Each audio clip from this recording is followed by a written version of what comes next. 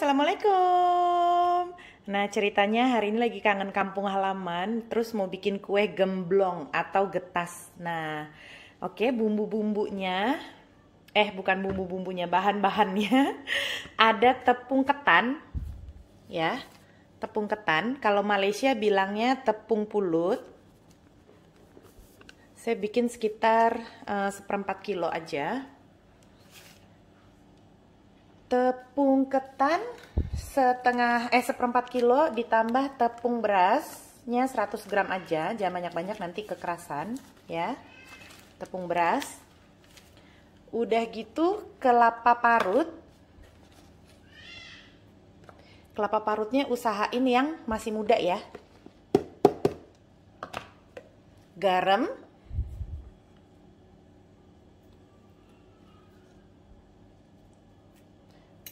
dan susu atau santan yang udah diangetin uh, ya. Jangan sampai panas teman-teman. Anget aja.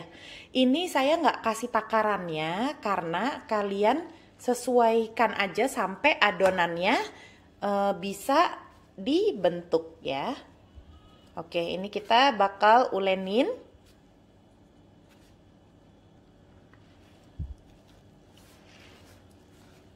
Ulenin sampai bisa dibentuk ini uh, salah satu kue jajanan pasar yang uh, jadi kesukaan saya banget karena rasanya tuh gurih.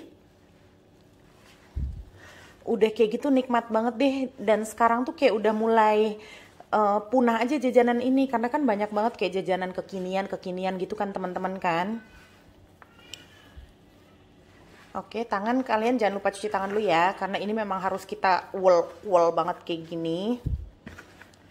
Nah, kalau saya salah nanti kalian tolong koreksi ya, tapi sih dari tadi saya Google, karena saya penasaran gitu loh teman-teman, apa sih perbedaan kue gemblong sama kue getas? Tapi sebagian besar sih di Google itu uh, bilangnya sama, karena perbedaannya itu ya cuma di uh, gulanya aja. Kalau gemblong kan pakai gula merah ya. Nah, kalau getas ini kita pakai gula putih. Oke, saya mau lanjutin ini dulu ya karena susah nih saya pakai tangan satu. Oke nanti kalau ini udah jadi saya uh, bakal uh, langsung nunjukin lagi ke kalian. Oke teman-teman kita udah panasin minyak. Nah ini jadinya kayak gini. Sebentar ya. Jadinya kayak gini teman-teman. Ya. Oke. Nah kalau saya suka ngebuletinnya itu pas saya mau masukin langsung jadi saya nggak taruh di piring. Oke kita ambil. Ini ikut selera ya kalian boleh bikinnya bulat-bulat gini. Atau kalian mau bikinnya uh, oval gitu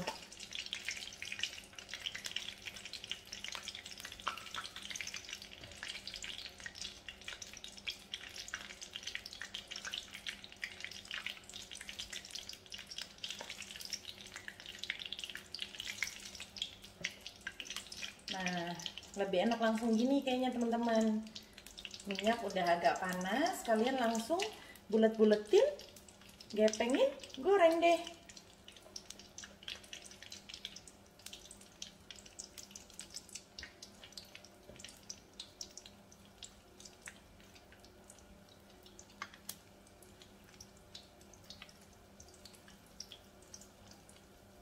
Kalau nggak ada susu, nggak ada santan, ini bisa juga kalian uh, apa cairin adonannya pakai air putih biasa boleh, nggak ada masalah. Yang penting uh, harus dikasih kelapa parut ya, teman-teman biar gurih.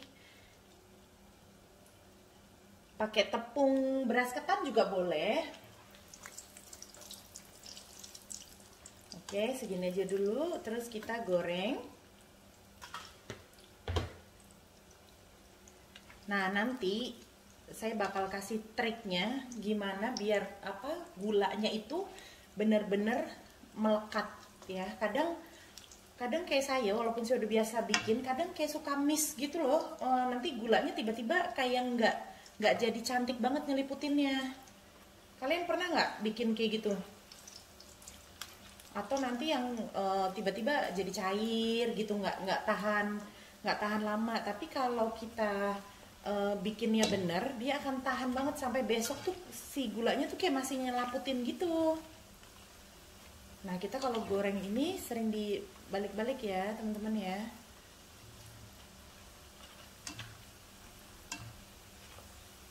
Nah untuk di adonannya kalian jangan kasih gula cukup kasih garam aja. Ini tuh bikinnya simple tapi kalau kita nggak ada triknya juga bisa gagal teman-teman. Jadi jangan suka menggampangkan suatu hal. Namanya juga manusia pasti kan sering eh tempatnya kegagalan ya. Tempatnya kegagalan kesalahan nah itu manusia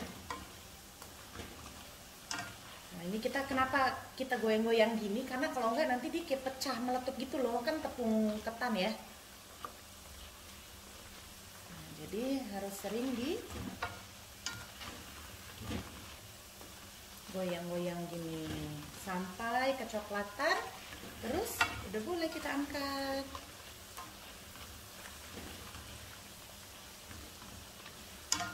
Apinya jangan terlalu kecil jangan terlalu besar sedang-sedang aja cukup.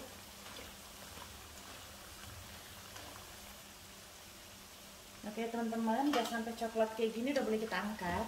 Nah pas kita angkat ini kita kecilin dulu apinya. Karena untuk e, nanti kita mau masukin getas yang baru kan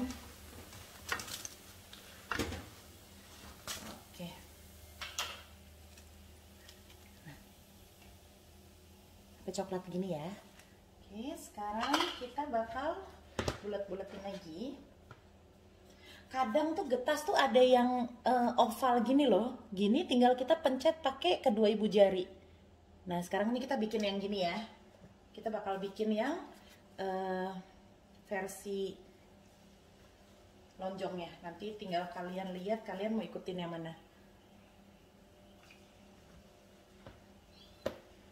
buletin lonjongin tekan dua.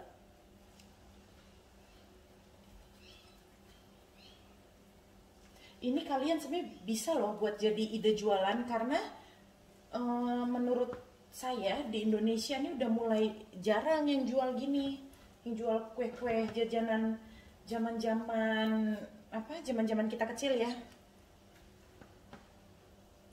Jadi pasti uh, banyak banget juga orang-orang yang rindu sama rasa-rasa jajanan-jajanan pasar zaman dulu nih. Jangan sampai ketutup sama makanan-makanan kekinian.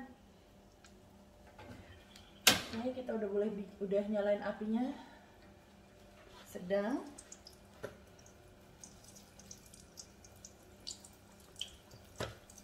Nah di Malaysia nih ada juga nih kue getas. Cuman kalau di Malaysia di uh, campuran tepungnya itu tepung ketan sama tepung uh, terigu.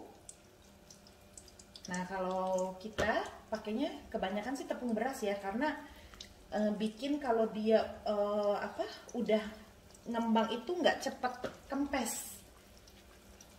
Tapi tadi saya baca di Google juga lumayan ada resep yang uh, apa gemblong atau getas pakai tepung terigu sama aja sih sebenarnya Indonesia Malaysia ini mungkin kayak cuma beda nama gitu loh teman-teman. Oke ini kita goreng kayak tadi ya. Jangan dibalik dulu. Diemin sebentar. Nah kalau udah baru kita aduk. Nah kita bikin dia jadi uh, ngembang. Aduk kita balik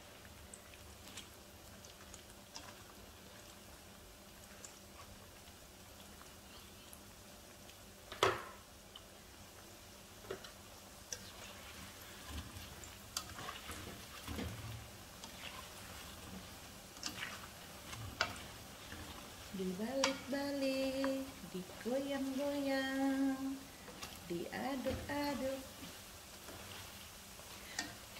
kalau uh, dulu pertama kali saya bikin ini ya anak saya yang 10 10 tahun tuh dia nanya ih uh, apaan ya Umi? Gitu. Nah jangan sampai anak-anak generasi muda nih nggak tahu kue-kue zaman dulu dia tuh kayak hampir nggak mau nyobain tapi pas udah saya buat terus dia bilang Umi nanti kapan-kapan buat lagi ya? Gitu. Jadi kita harus memperkenalkan kue-kue jajanan dulu nih.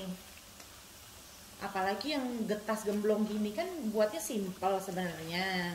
Jadi kalian boleh untuk sore-sore gini kan ngopi-ngopi atau ngeteh-ngeteh ngobrol di depan TV cocok banget deh ya ini saya bakal goreng kayak tadi sampai kecoklatan. Udah kayak gitu nanti saya langsung tunjukin ke kalian gimana cara untuk e, ngebalut gulanya.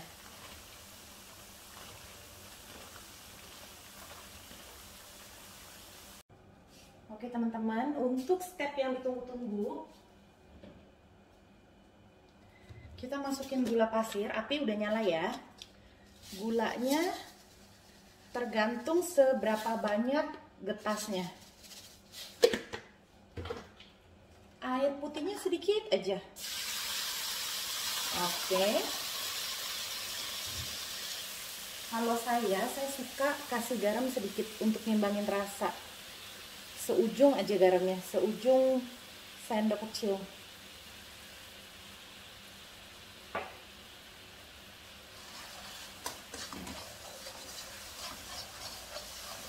ini kita aduk sampai gulanya tuh benar-benar cair dan jadi lengket ya teman-teman ya. Jadi kayak gelembung gitu loh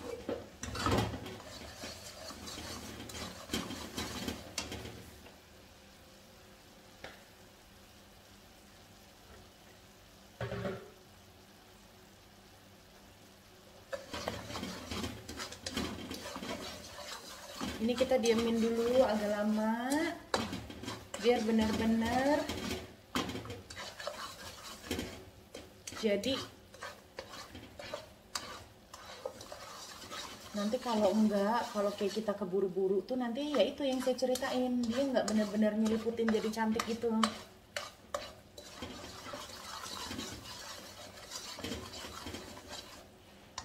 Oke kadang saya suka buat kayak gini nih. Ini kita ambil dikit terus kita nah kita giniin teman-teman. Nah ini belum belum lengket gitu kan?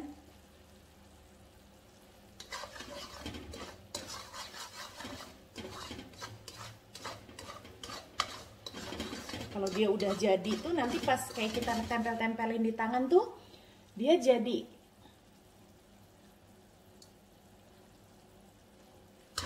Tempel kayak apa kayak sarang laba-laba gitu loh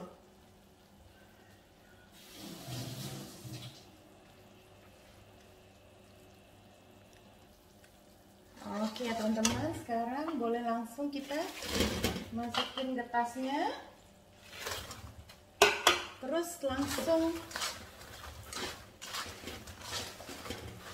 kita aduk.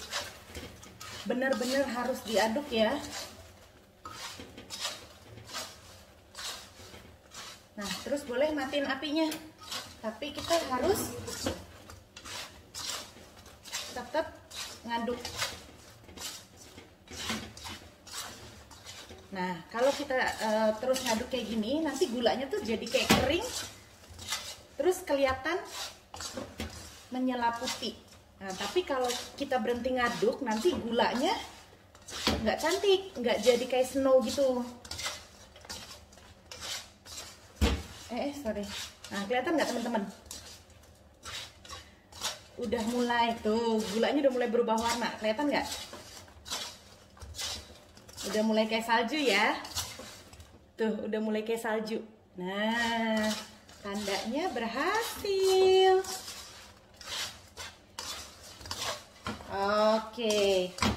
Kalau udah kayak gini berarti udah jadi ya teman-teman ya. Tuh dia udah uh, kayak udah nyeliputin Oke, kita udah boleh taruh di piring. Tara! Nah, ini dia nih kue getas atau kue gemblong. Kue zaman-zaman jadul, tapi rasanya tuh nggak pernah terlupakan dan selalu bikin kangen. Nah, yuk kita cobain yuk. Oh ya, untuk kalian tapi jangan lupa dulu ya sebelum uh, lihat video ini, kalian tekan dulu like, comment, dan subscribe. Jangan lupa. Udah gitu share deh uh, video ini ke semua sosmed yang kalian punya.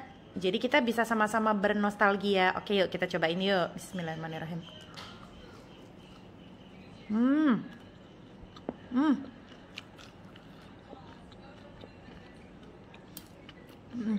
Masya Allah dalamnya lembut.